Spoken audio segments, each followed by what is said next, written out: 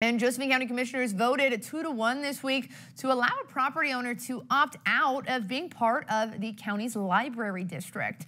Yesterday, the homeowners who submitted the petition to be removed from the library district Mike and Winnie Pelfrey spoke at the county commissioners meeting. They say it's because they don't use or benefit from the services that the library provides.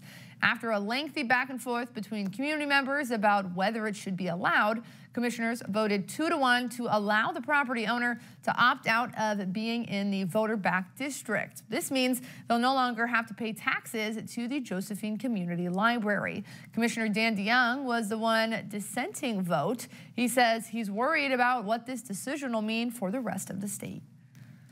What I'm concerned about is establishing a precedent for all over the place. When you say that you should be able to be in or out, you're just basically saying that elections don't matter.